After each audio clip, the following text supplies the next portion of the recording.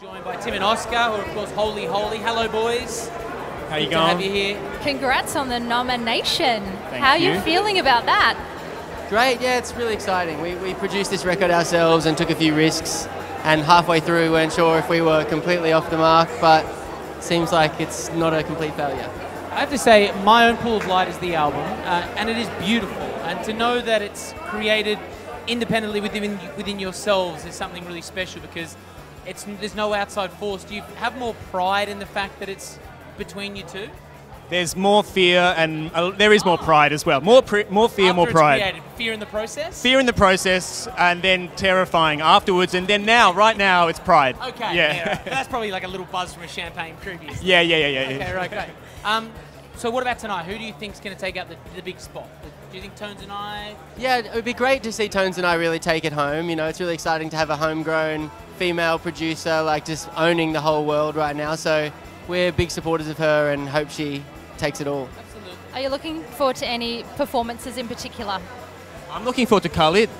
Yeah. I, I, I'm really looking forward to that, actually. I can't wait to, to see him play and just to hear it, you know, like sort of in the flesh, so to speak. Yeah. Yeah, he's had a crazy trajectory. A lot of people don't know that he was like 16 years old, made his own album called American Dream in his bedroom, dropped a song called Location on SoundCloud, and now is at the Arias. I think two and a half years later as a superstar. Really? Yep. Is It's he that young? He's like 19. He's so young. I'm upset. Yeah, yeah. I hate those I feel old. young I. I, you know what? I don't, I don't want to see don't see I'm going to go to the bathroom then. Yeah. And Billie Eilish, forget about her. We don't need forget about 17 year old it, Billie. Eilish. She's old. Um, guys, the outfits. Can we just? How did you coordinate this? Did we talk about it before we got dressed?